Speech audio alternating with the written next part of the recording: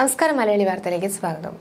ഇസ്രായേലിൽ ആക്രമണത്തിന് തുടക്കമിട്ട് ഇറാഖി സായുധ സംഘം. ഹിസ്ബുള്ളയ്ക്ക് പിന്തുണ പ്രഖ്യാപിച്ചതിന് പിന്നാലെ ഇറാഖിൽ നിന്നെത്തിയ മിസൈലുകൾ തെക്കൻ ഇസ്രായേലി തുറമുഖമായ നഗരം ഐലത്തിൽ പതിച്ചു എന്നാണ് ടൈംസ് ഓഫ് ഇസ്രായേൽ റിപ്പോർട്ട് ചെയ്യുന്നത്. ചെങ്കടൽ വഴിയാണ് ആക്രമണം ഉണ്ടായത് നഗരം ലക്ഷ്യമാക്കി മിസൈലുകളും ഡ്രോണുകളും എത്തിയതായാണ് വിവരം. അല്ലർ ഖാബ് ക്രൂയിസ് മിസൈൽ ഉപയോഗിച്ചായിരുന്നു ആക്രമണമെന്ന് ഇറാൻ വാർത്താ ഏജൻസിയായ ഇറിനെ ഉദ്ധരിച്ച് ജെറൂസലേം പോസ്റ്റ് റിപ്പോർട്ട് ചെയ്തു. ആക്രമണത്തിൽ നാശനഷ്ടങ്ങൾ ഉണ്ടായെന്ന് ഇസ്രായേൽ വൃത്തങ്ങൾ പറയുന്നു. ഐലാത്ത് നഗരത്തിൽ സ്ഫോടക വസ്തുക്കൾ ഉഗ്രശബ്ദത്തിൽ പൊട്ടിത്തെറിക്കുന്ന ദൃശ്യങ്ങൾ സോഷ്യൽ മീഡിയയിലൂടെ പുറത്തു വന്നിട്ടുണ്ട്. ഇവിടെ ചരക്കുകൾ സൂക്ഷിക്കുന്ന ഒരു ഗോഡൌൺ ആക്രമണത്തിൽ തകർന്നതായി ഇസ്രായേൽ മാധ്യമങ്ങൾ റിപ്പോർട്ട് ചെയ്യുന്നു. അറുപത്തിയെട്ടും ഇരുപത്തെട്ടും പ്രായമുള്ള രണ്ടു പേർക്കാണ് സംഭവത്തിൽ പരിക്കേറ്റത്. ഇവരുടെ പരിക്ക് സാരമുള്ളതല്ലെന്ന് ഇസ്രായേൽ അധികൃതർ പറഞ്ഞു. രണ്ടാമത്തെ ഡ്രോൺ നാവികസേനയുടെ മിസൈൽ വേദ സംവിധാനം നിർവീര്യമാക്കിയതായും ഐ ഡി എഫ് അവകാശപ്പെട്ടു. ആക്രമണത്തിന്റെ ഉത്തരവാദിത്തം ഇറാഖി സായുധ സംഘമായ ഇസ്ലാമിക് റെസിസ്റ്റൻസ് ഏറ്റെടുത്തിട്ടുണ്ട്. തെക്കൻ ഇസ്രായേലിലെ തന്ത്രപ്രധാന കേന്ദ്രങ്ങളെ ലക്ഷ്യമിട്ടാണ് ആക്രമണം നടത്തിയതെന്ന് സംഘം പറഞ്ഞു. ഗാസ ആക്രമണത്തിൽ തിരിച്ചടിയുമായി നേരത്തെ ഇസ്രായേലിന് നേരെ ഇസ്ലാമിക് റെസിസ്റ്റൻസ് ആക്രമണം നടത്തിയിരുന്നു. ഗാസ ആക്രമണം അവസാനിപ്പിക്കും വരെ ആക്രമണം തുടരുമെന്നാണ് സംഘം നേരത്തെ അറിയിച്ചിരുന്നത്.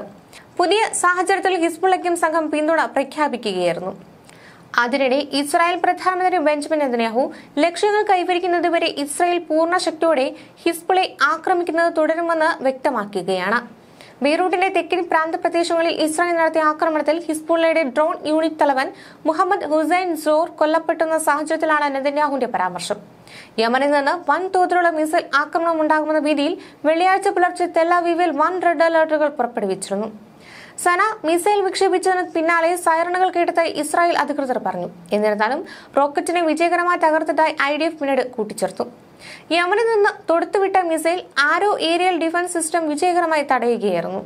ഇസ്രായേൽ ലബനാൻ അതിർത്തിയിൽ വർദ്ധിച്ചു വരുന്ന സംഘർഷം തടയാൻ ലക്ഷ്യമിട്ടുള്ള നിർദ്ദേശത്തോട് ഇസ്രായേൽ ഇതുവരെ പ്രതികരിച്ചിട്ടില്ലെന്ന് നെതന്യാഹുവിന്റെ ഓഫീസിൽ നിന്നുള്ള പ്രസ്താവനയിൽ പറയുന്നു. ഇതൊരു അമേരിക്കൻ ഫ്രഞ്ച് നിർദ്ദേശമാണ്. പ്രധാനമന്ത്രി പോലും പ്രതികരിച്ചിട്ടില്ല. പൂർണ ശക്തിയുടെ യുദ്ധം തുടരാൻ നെതന്യാഹു ഇസ്രയേൽ ഡിഫൻസ് ഫോഴ്സിനോട് ഉത്തരവിട്ടിട്ടുണ്ടെന്നും കൂട്ടിച്ചേർത്തു. ഇസ്രയേലിന്റെ യുദ്ധലക്ഷ്യങ്ങൾ പൂർത്തിയാക്കുന്നതുവരെ ഗാസ ആക്രമണം ആവർത്തിക്കുമെന്ന് നെതന്യാഹു പറയുന്നു. ബെയ്റൂത്ത് ആക്രമണത്തിൽ ഹിസ്ബുല ഡ്രോൺ മേധാവി മുഹമ്മദ് ഹുസൈൻ സുറൂറിനെ വധിച്ചതായി ഇസ്രയേൽ സൈന്യം അറിയിച്ചു.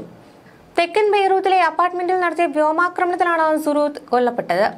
സുറൂറിന്റെ രക്തസാക്ഷിത്വം വെറുതെയാകില്ലെന്ന് ഹിസ്ബുള പ്രതികരിച്ചു.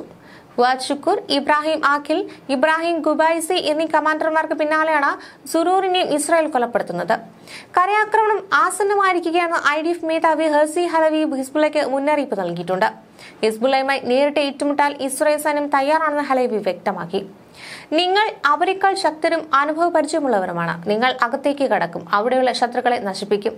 അവരുടെ അടിസ്ഥാന സൗകര്യങ്ങൾ തകർത്തു കളയും. അദ്ദേഹം സൈന്യത്തോട് പറഞ്ഞു വടക്കൻ നിവാസികളെ സുരക്ഷിതമായി തിരികെ കൊണ്ടുവരിക എന്നതാണ് ആത്യന്തിക ലക്ഷ്യമെന്നും ഹലവി കൂട്ടിച്ചേർത്തു.